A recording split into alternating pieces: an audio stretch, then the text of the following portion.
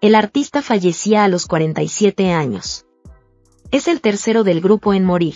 Brian Gillis, uno de los primeros integrantes y cofundador del grupo juvenil LFO, ha fallecido a los 47 años, según informa la revista Variety.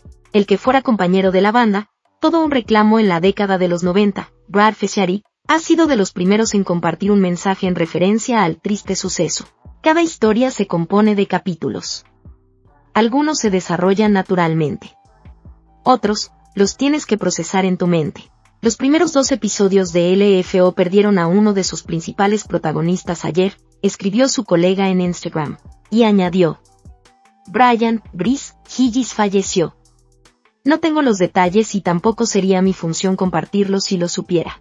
Estoy realmente luchando para procesar esta pérdida tan trágica. Lo he dicho antes y lo digo ahora, la historia de LFO es una tragedia, añadió con dolor. Brad se refiere a la muerte de otros dos de los miembros de la famosa banda pop y hip hop. Primero, en 2010, fallecía Richard Burton Conan, cantante de la formación, a los 36 años. Y en 2018, lo hacía Devin Lima, a los 41, también componente del grupo. Ambos en difíciles circunstancias. Sé que pronto, o quizás ya, Brie será recibido por Richie Devin. Y espero que juntos, hagan dulces melodías. Me encantaría eso. Descansa tranquilo, hermano, concluyó Brad.